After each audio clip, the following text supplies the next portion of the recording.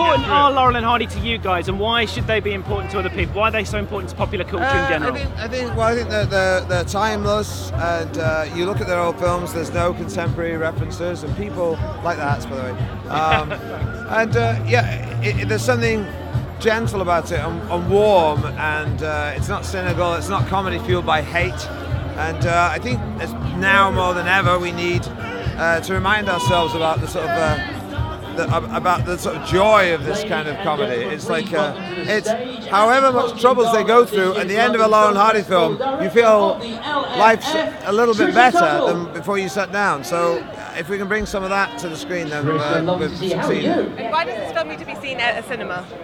Sorry. Why does this film need to be seen at the cinema? Well, it's a very theatrical film. A lot of the scenes take place on stage, so it makes sense to see it in a theatrical environment yeah. because their whole, at this point, their whole lives were a theatrical environment. So, yeah, it's a good point to make, though. People should show up and experience it together.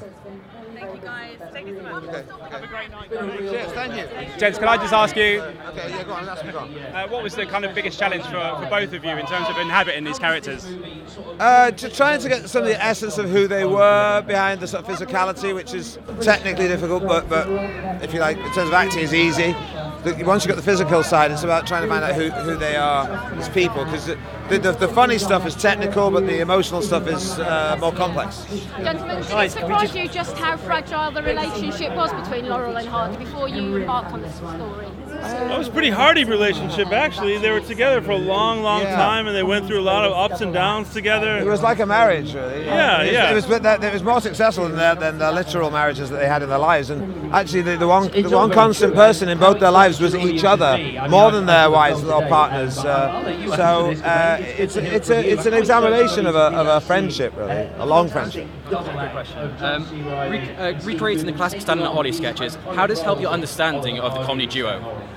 Um, uh, well, I mean, the, the, the, the sort of, if you do one of their sketches, they're technically quite uh, specific. They're quite, they're quite disciplined, even though they look funny and silly and all the rest of it. They're quite disciplined, rehearsed uh, routines. And I think, well, for me, uh, learning how to do their routines, uh, although I used to watch them like everyone else watches them on TV, and you laugh and you enjoy it, but natural fact, when you have to have, recreate them, it makes you appreciate how technically disciplined they were as performers and how precise they were. Yeah. And how practiced they were, how easily they made it look, you know? Yeah.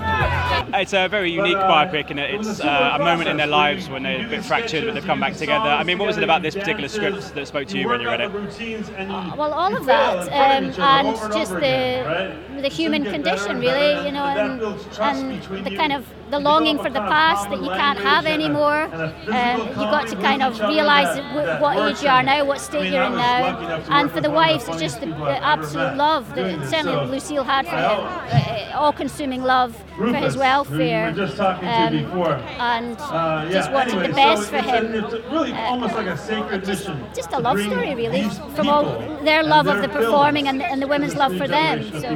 What was it like working with John? Because he really inhabits the role, both physically and emotionally. I mean, it must have been great to work alongside him. It was very moving to work with him when he was in this. I'd, I've, I've seen him more in the costume than I've seen him out of it. So it was very strange when you see him out of it compared, um, and he's enormous compared to me, you know. But I felt very at ease. We felt very comfortable with each other. Um, I liked the way he worked. It felt very similar to the way I worked. Um, I just felt very, very lovely trying to find those scenes with him. So it was nice. I mean, what was it about this, the script and this particular take on it that intrigued you when you read the script? Uh, exactly what you just said. That it was kind of at the what I thought might initially be the other end of their career to what most people would want to focus on. But it's precisely that choice that the scriptwriter Jeff Pope made that makes it so great. I think because it's towards the end of their careers when they needed money, frankly, and they needed to. Um, you know, uh, they, they needed to work both creatively and financially.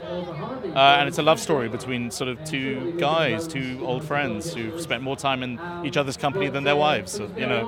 And um, it's very moving, sort of, from that regard. Yeah. And your character, obviously, in the contents of history, he was there putting this tour together Yeah. and everything else. I mean, what was it about him that intrigued you and when you did some kind of research on him? Uh, there, there isn't a lot of research to do. Bernard Delfont was a producer, and the thing about producers is they're very good at controlling their image.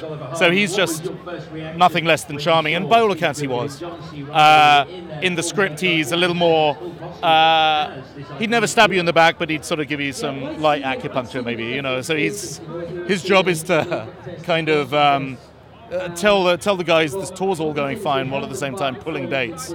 And as an actor, you've all we've all been there, you know. So he's um, yeah, he's a kind of really great study of a producer, charismatic, uh, not to be trusted all the time, but then he knows that. But ultimately, he's a huge fan of the guys. And uh, yeah, I was talking to Reilly earlier, and he said it's yeah. There's a scene where Delfont sort of breaks down a little because he was a child once, loving them, and yeah, it was nice. It was lovely. Yeah, I mean, uh, yeah, is, is this something as well that you're hopeful of uh, discovery for young audiences who perhaps don't know much about sound. That'd be amazing. Yeah, I hope so. I hope so. I think I think it's a huge love for Laurel and Hardy, but the world moves fast, and it'd be great if uh, this film sort of brought people back to them because because they're very easy to tap into. Doesn't feel old. Yeah. Tell me a little about the kind of genesis of how you got involved in the first instance. I auditioned for it and I fell in love with the script, and the rest is this present, not history, right? It's present. Yeah. Uh, it's a it's a fascinating film in the sense that it doesn't just delve into the whole history. It delves into this particular moment, but kind of Right. flashbacks and forwards. I mean, what was it about this particular story and telling it this way that intrigued you so much? Um, I'm always fascinated just by the process of any actor or any performer, but especially comedians as far as the public and the private. And I think that the fact that we kind of are able to all as audience members be flies on the wall during their private process, I think that's really kind of magical and and, and good to know and good to see. yeah. And obviously, you get to work with Steve. But also, you get to you get to work with Steve Coogan. You obviously, see John and all the rest of them in Right. there. I mean, what was it like to not just work with Steve, but see these two really inhabit these roles? Uh, almost, uh, quite frankly, it was surreal. Uh, the first time that I saw them in full makeup and just in the in the bodies of these, these men, uh, I completely dropped character because I was just in awe. And I mean, yeah, no, no, no. I was just saying, you guys could see it, you know, on the screen, but in person, it was uh, it was mind blowing. Yeah. Imagine, yeah, yeah. Yeah. And just, for, I mean, for audiences that are like younger audiences who don't know Stan Lolly Mm. so much, I mean, are you hopeful that it reaches a wide audience and that young audiences do go and then discover the history of these two? I really, really hope that this inspires people to look things up because I think for any performer, seeing something like the Music Box is an absolute masterclass and it's so important. Uh, because physical comedy now is so different than it was then, but not the passion or the execution. That, that they're masters, and it's important to know that. Yeah. It's a love story. I, I was a big, big fan of Laurel and Hardy as a boy. Uh, I'm old enough to be to remember when they played on the BBC on Saturday mornings, and that's when I fell in love with them.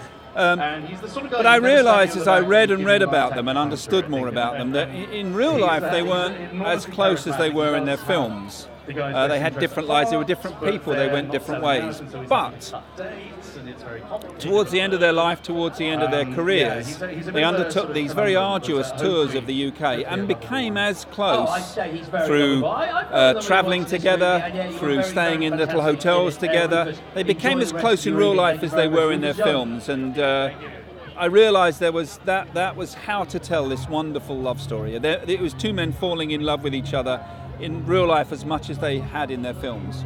I guess what is the journey you hope an audience are going to take and sit because being such icons of the big screen, watching them now on the big screen as well is vitally important. Well, I'm, I'm, I'm with um, Stan's great granddaughter, Cassidy Cook. She, she's here with me now. And, and on this journey, I, I, I kind of I, I thought, well, I, am not going to make a, a piece of I'm not going to make a, a piece of fan hagiography for Yeah. for for Stan, for Stan fans, but I want to make something that's that's got that's true to the spirit of Stan. And so, right at the beginning of the process, my great um, ambition was for the Laurel family to watch it and to feel as if, yes, that's the spirit of Stan. And so, Cassidy was my toughest audience, and uh, she hated it. No, luckily she. Uh, He made me cry, laugh, and just be very proud of my heritage. Absolutely. He brought the voice back to life, which is long overdue. it's wonderful. Thank, you. so much. Ladies and gentlemen, you're watching HeyUGuys! Hey, you guys, huh? Hey, you guys. Is that from the Goonies? It is indeed, Nice. Hey,